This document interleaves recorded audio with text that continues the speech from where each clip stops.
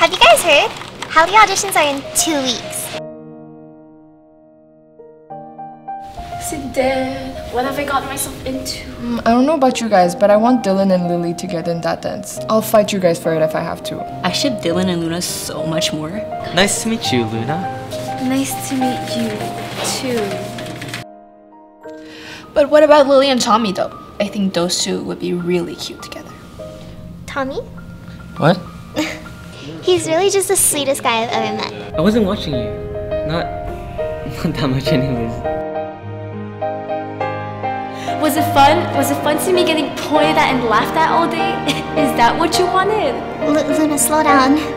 I don't know what you're talking about. I figured you don't seem to like her that much. Yeah, well, you wouldn't either if you knew what I knew. And that would be it. I'm super tired of everything and everyone. Is that what people want to hear me say? Wait, Luna who? Is that Luna Gray? Who? I don't know her. Hey, you don't look too good. What's up?